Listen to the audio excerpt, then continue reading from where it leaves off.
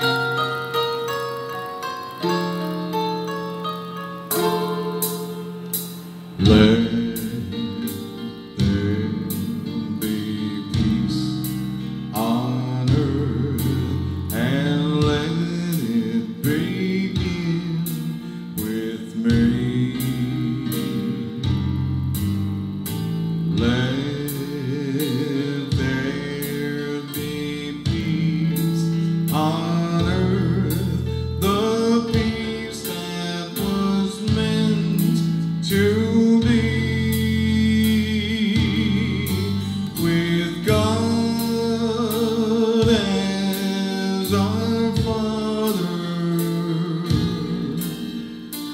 brothers all are we. Let